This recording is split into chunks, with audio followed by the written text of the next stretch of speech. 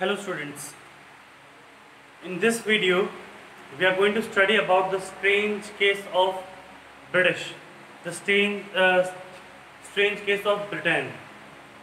Many scholars and many historians consider the formation of the British nation state as an ideal one and doesn't consider Germany and Italy as such.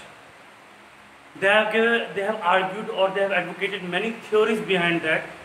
One of the theories that Germany and Italy, both of them saw a sudden uprising, saw a sudden revolution that led to its unification and that led to its formation of as a nation state.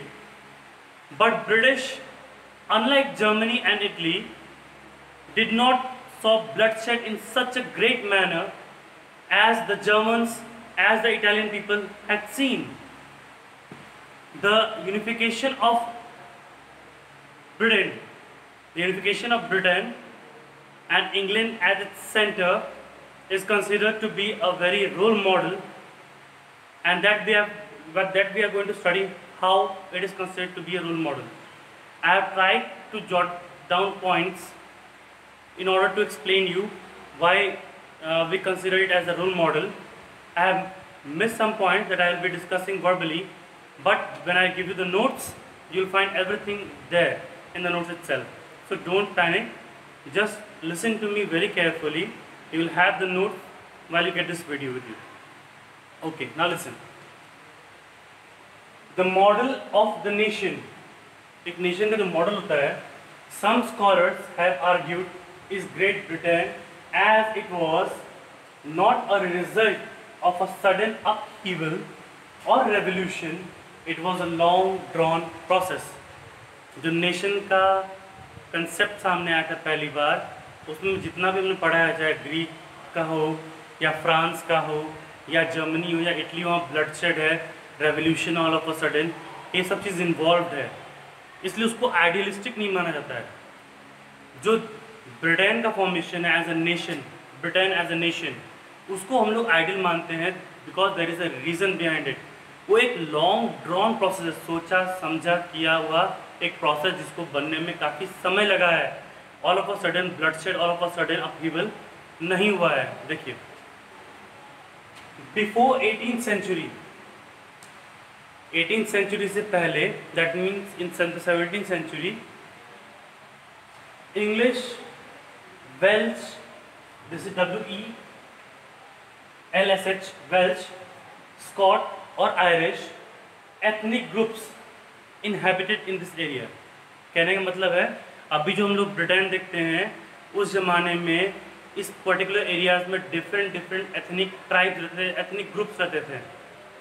उनमें Wales थे Scots थे Irish हैं Scott या Irish Wales हैं English है, तीन group out of this three English Scot and English Wales and Irish, ये तीन हम लेते हैं इन तीनों एथनिक ग्रुप्स में से सबसे ज़्यादा जो डेवलपमेंट देखा वो था England the English people they develop rapidly by many scientific advancements many achievement that they had gone through during the Renaissance area Renaissance time period this time the English started dominating the other two English का धीरे धीरे बाकी दोनों पे domination बढ़ता चला गया because English ने इंग्लिश के जो लोग थे इंग्लिश सेक्शन था that section develop rapidly and were easily dominating the rest of the two.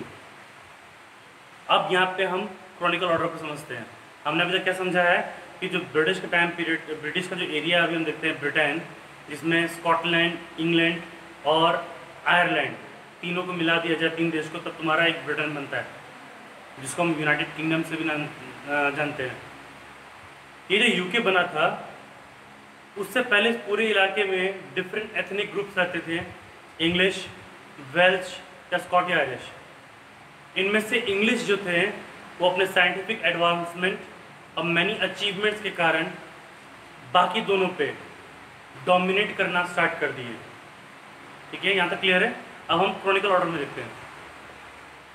यहाँ मैंने क्रोनोलॉजी यहाँ स्टार्ट कर दिया। है I started chronology from year so that आपको इजी गोइंग में हर चीज़ समझ में आ जाए। इन द ईयर 1688 जो ब्रिटिश था, वो अपना मोनार्किज्म को सबड्यू करके it became a constitutional monarch British parliament का एस्टैब्लिशमेंट 1688 में हो गया था वे अहेड बहुत पहले। 1688 में ब्रिटिश पार्लियामेंट का एस्टैब्लिशमेंट हो गया था।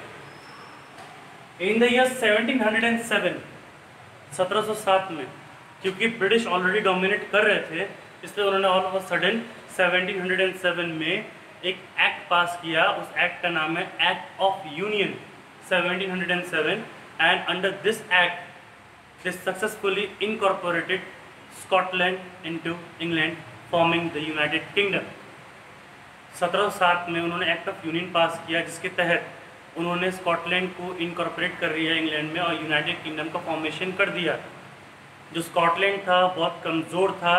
They could not resist the Britishers और sorry they could not resist the English people and soon they fell and they were incorporated into the English people and it became United Kingdom and like क्यों British English जो थे वो dominant थे इसलिए जो English का culture है English language है, या इंग्लिश का जो ट्रेडिशन है, वो धीरे धीरे स्कॉट का गेलिक लैंग्वेज वहाँ गेलिक लैंग्वेज बोलते हैं। जो गेलिक लैंग्वेज है, उनका जो ट्रेडिशन है, उसको दबाने लगा, उसको सप्रेस करने लगा और वहाँ पे भी इंग्लिश डोमिनेशन क्लियरली दिखने लगा।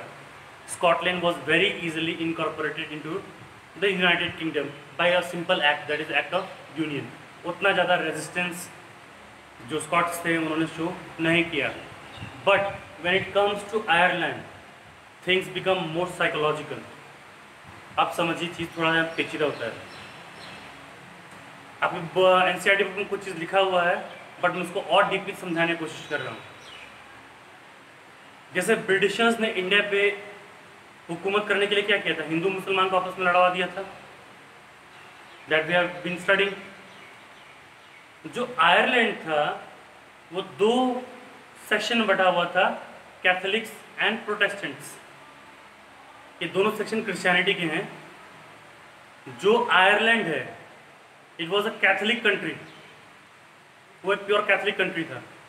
और जो इंग्लिश है they are pure Protestants they are Protestants while the Ireland is Catholic जो इंग्लिश के प्रोटेस्टेंट्स थे, जो छोटे मोटे प्रोटेस्टेंट्स आयरलैंड में रह रहे थे, उनको इंग्लिश मदद करते थे ताकि they fight for the equality in Ireland इससे क्या हुआ? आयरलैंड में कैथलिक वर्सेस प्रोटेस्टेंट प्रोटेस्टेंट इसका एक सिनेरियो क्रिएट हो गया।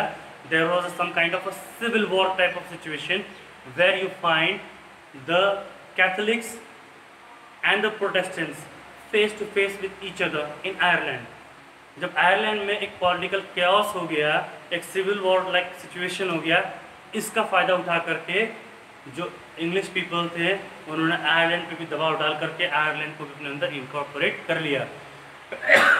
बट अनलाइक स्कॉटलैंड आयरलैंड ने थोड़ा बहुत रेजिस्टेंस शो किया। Ireland under the leadership of Wolfe Tone and his union United Irishmen established in the year 1798 देखिए हमें लिखते हैं sorry Ireland suffered the same way English people used the struggle between Catholics and Protestants in Ireland to create unrest in the country in uh, Ireland and capture it. After a failed revolt, revolt हुआ था resistance हुआ था Ireland के लोग से led by Wolfe Tone and his union United Irishmen established in the year 1798 Ireland was successfully incorporated in the year 1801 sorry. In year 1801 फिलमसम में Ireland को भी इनकॉर्पोरेट कर लिया गया था।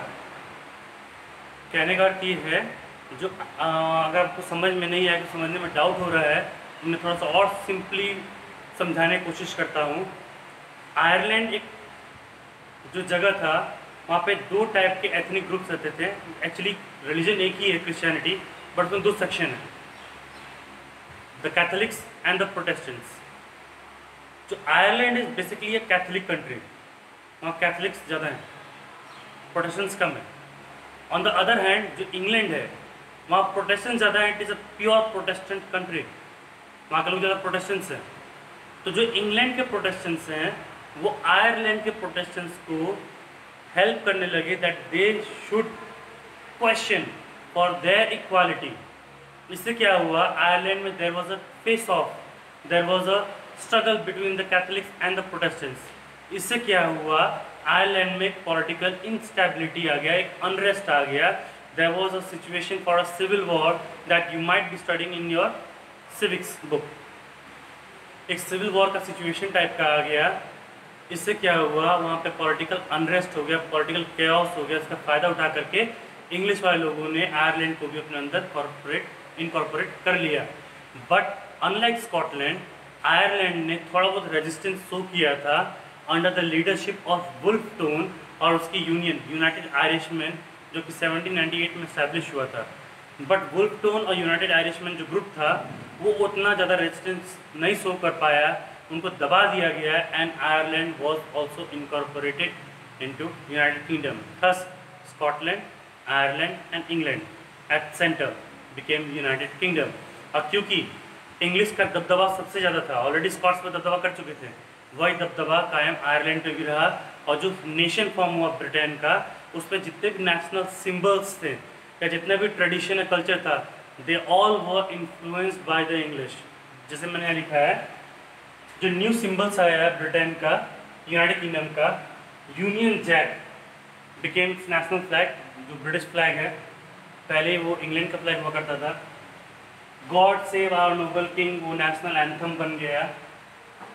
और जो इंग्लिश लैंग्वेज है, जो इंग्लिश लोग बोलते थे that became the national language that means Ireland का जो आयरिश लैंग्वेज है, या जो स्कॉट्स का गेलिक लैंग्वेज है, इन सबको दबा दिया गया, उनके सारे ट्रेडिशन को सब ड्यू कर दिया गया and the English started dominating the whole area and through mere domination and a psychological effect the British the English successfully forged a new nation incorporating Scotland and Ireland and forming a United Kingdom.